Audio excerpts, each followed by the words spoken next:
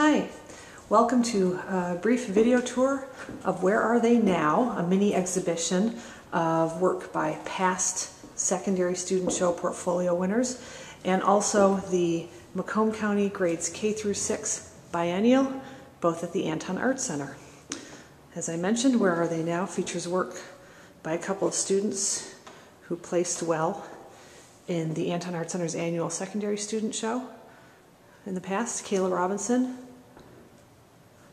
and Elise Martin.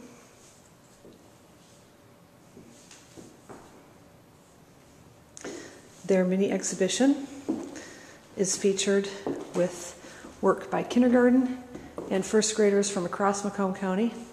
In this year's grades K through 6 biennial, we had work submitted by about 30 schools from Macomb County, representing a little over 300 students. The video for the for grades 2 through 6 is available separately. This exhibition is open through March 18th in the Anton Art Center's Petitpren Community Gallery.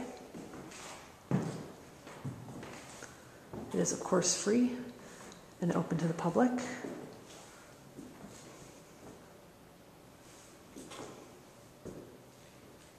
Most of the work is not for sale. That's very typical for the K through 6 show. Nobody wants to part with this.